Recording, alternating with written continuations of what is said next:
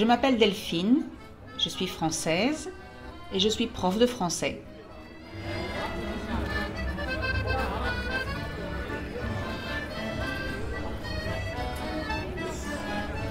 Je veux vous aider à parler mieux en français. Mais pour parler mieux, il faut aussi écouter et comprendre. Alors bienvenue à French to Go, un podcast tout en français où je vous parle de ma vie au quotidien.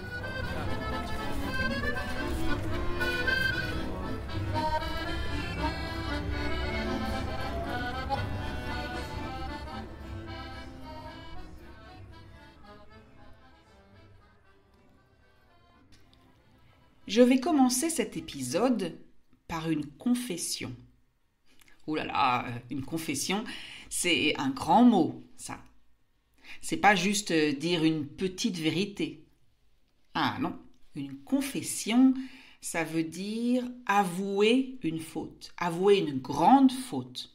Dire la vérité sur quelque chose que vous avez fait et qu'il ne fallait pas faire. Une confession, c'est... Mais oui, vous savez, dans, dans les églises, même si vous n'êtes pas chrétien, vous avez vu ça dans les films, je vous l'assure. Donc, dans les églises, c'est quand une personne rentre dans un... Comment est-ce que je vais vous expliquer ça? Disons, dans une petite cabane en bois, dans une petite maison en bois coupée en deux. Alors d'un côté, il y a le prêtre qui écoute seulement, qui ne voit pas la personne, et de l'autre, il y a la personne justement qui ne peut plus continuer à garder son secret et décide de tout dire au prêtre. Euh, qu'elle a trompé son mari, par exemple. J'espère que vous avez compris de quoi je parle. Sinon, cherchez confessionnal sur Internet vous verrez les images et vous comprendrez. Alors, moi, aujourd'hui, je vais vous faire une confession. Je vais vous confesser quelque chose et j'espère bien que vous allez faire la même chose. Oui, oui, parce que je sais que beaucoup d'entre vous êtes comme moi. Alors, je vais vous dire la vérité, je suis accro à mon portable. Je suis dépendante de mon portable. Je ne peux pas m'en passer. Ça veut dire que je ne peux pas vivre sans. Pas plus d'une heure en tout cas. Allez, soyez honnête. Vous êtes pareil. Vous êtes comme moi, non? Toute notre vie est dans ce portable. Tout. D'abord, notre lien au monde, le téléphone, bien sûr, mais aussi la messagerie, Internet, les réseaux sociaux. Et puis, toute notre vie administrative, notre compte bancaire, notre prise de rendez-vous médical, etc. Notre vie culturelle, la musique, bien sûr, mais aussi les films, les séries, les jeux. On ne sait plus prendre la route sans notre appli de GPS. On ne sait plus calculer 5 plus 137 sans utiliser la calculatrice. On ne sait plus profiter de notre temps sans prendre une photo, un selfie, l'envoyer à un ami, l'envoyer au monde entier sur les réseaux sociaux. On est joignable 24 heures sur 24, 7 jours sur 7. Alors, Joignable, ça veut dire qu'on peut vous joindre, qu'on peut vous contacter, vous appeler. Oui, on est tous, plus ou moins, accros à notre portable, dépendants de notre portable. Il faut dire que il nous facilite bien la vie, n'est-ce pas? Et pourtant, on trouve de plus en plus de gens qui achètent des dumb phones. Alors le mot n'est pas français, et si vous parlez un peu anglais, vous avez compris que je parle de ces téléphones simples, comme ceux qu'on avait il y a 20 ans. Ces téléphones portables qui étaient faits pour, euh, téléphoner. oui, l'utilisation principale de ce téléphone était bien d'appeler quelqu'un ou de permettre aux autres de nous appeler quand on était à l'extérieur de la maison. À part ça, pas grand-chose à faire avec ça. Alors on pouvait bien sûr envoyer des textos, des SMS, des messages, mais il fallait avoir pas mal de patience. Je ne sais pas si vous vous souvenez, euh, il fallait taper plusieurs fois sur la même touche pour avoir une lettre différente. Euh, avec ces téléphones, on pouvait aussi prendre des photos, mais honnêtement, euh, la qualité était franchement mauvaise. Ah oui, on pouvait aussi jouer. Mais si, vous vous souvenez Snake, le, serpent qui grandit au fur et à mesure.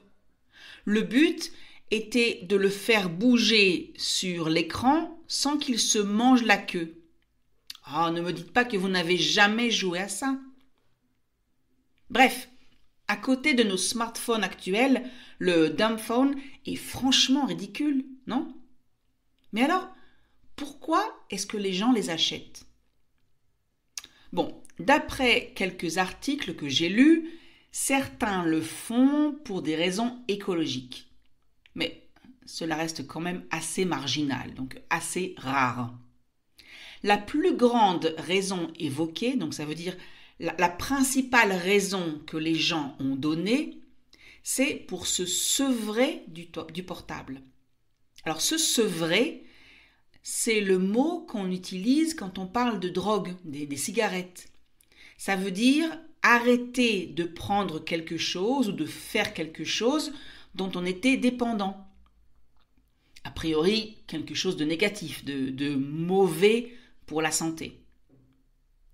Entre parenthèses, ce n'est pas toujours le cas, puisque on parle aussi de sevrage, donc de l'idée de sevrer un bébé quand on arrête de l'allaiter, de lui donner le sein de sa mère, pour passer à un autre type de nourriture.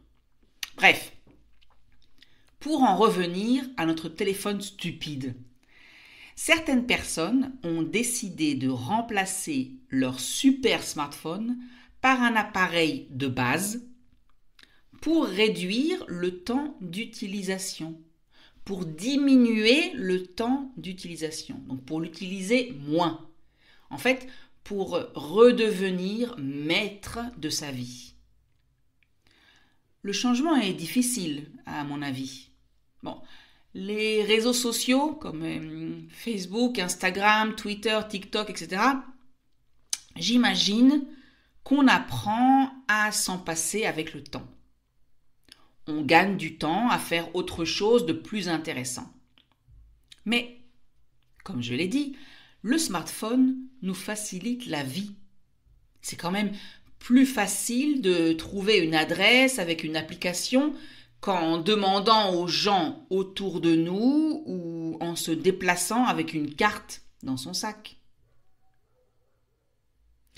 Avec ce retour des dumbphones, je me suis posé la question de tous ces appareils vintage qui reviennent à la mode. Vous savez, euh, le retour des Polaroids, euh, ces appareils photo qui vous permettent d'avoir la photo imprimée tout de suite. Ou les platines vinyles, donc ces appareils qui permettent d'écouter des disques, on appelle ça aussi un tourne-disque, puisque le disque tourne sur la platine. A priori, la photo numérique le son numérique, donc numérique en français c'est digital, d'accord? Donc la photo numérique et le son numérique sont des avancées technologiques. A priori, ils ont amélioré la qualité de l'image et la qualité du son. Enfin, c'est ce que je suppose, c'est ce que j'imagine. Alors, pourquoi revenir en arrière? C'est comme si c'est comme si je décidais demain de jeter ma machine à laver pour recommencer à laver mes vêtements à la main ou avec une machine mécanique, comme il y a 100 ans. Si le smartphone nous facilite la vie, pourquoi choisir de la rendre plus compliquée, plus difficile?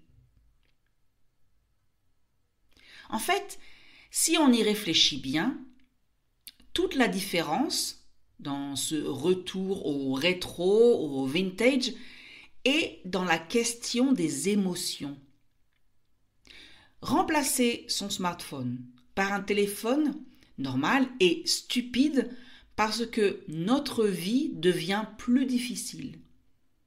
Parce que toutes ces applications, Internet, etc., etc., nous permettent de gagner du temps, de faire certaines actions chronophages en un temps réduit. Alors chronophage, euh, ça veut dire qui prend du temps. Par exemple, pour acheter un billet d'avion, il fallait autrefois aller dans une agence de voyage.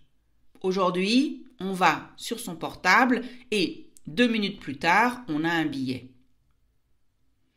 Avant, pour prendre rendez-vous chez le médecin, il fallait appeler le cabinet médical. Aux heures d'ouverture, bien entendu. Alors que maintenant, avec votre portable, vous pouvez le faire en quelques minutes et même s'il est 22 heures. Donc, le portable d'aujourd'hui, c'est comme le micro-ondes ou comme la voiture. Ça rend notre vie plus simple. Ça nous permet de faire des choses nécessaires en moins de temps. Alors, vous allez me dire que beaucoup de gens achètent des vieilles voitures, et même très chères. Oui, mais là est toute la différence. Ces gens qui achètent euh, une Ford Mustang ou même une deux chevaux, c'est pour leur collection. En général, ce n'est pas leur voiture principale, ce n'est pas la voiture qu'ils prennent pour aller chez le médecin. Ils achètent ces voitures, donc la Ford Mustang par exemple, pour la nostalgie, pour le, plaisir des belles voitures. Même chose pour les platines vinyles. Les gens sont nostalgiques de ces disques, des souvenirs qu'ils font remonter, euh, des moments passés en famille, avec des copains, euh, de leur enfance ou de leur adolescence. Ils aiment ce son qui n'est pas parfait. Ils aiment encore plus le petit bruit qu'on entend quand le disque se met à jouer notre chanson. bon, comme vous l'avez compris, je ne vais pas m'acheter de dumbphone. Par contre, je vais limiter le temps que je passe sur certaines applications qui me font perdre du temps précieux. Ouais. Euh, des applications sur lesquelles je passe trop de temps pour rien. D'abord, les jeux. Alors ça, c'est horrible. Je peux être accro comme un adolescent avec les jeux vidéo. je vous en parlerai peut-être dans un prochain épisode. Donc par exemple, les jeux et les réseaux sociaux, bien sûr. Alors espérons juste que je vais utiliser ce temps gagné de manière intelligente et que je ne vais pas retomber dans une autre dépendance que je ne vais pas remplacer cette dépendance aux jeux et aux réseaux sociaux par une autre dépendance.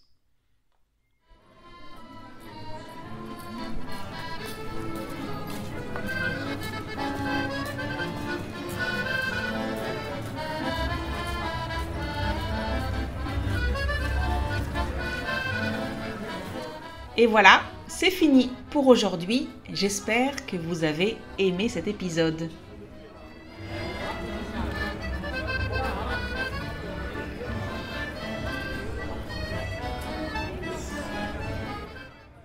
Comme d'habitude, le texte est disponible gratuitement sur www.frenchcart.com. Si vous aimez French to Go, laissez un commentaire, likez, partagez avec vos amis. Merci, merci.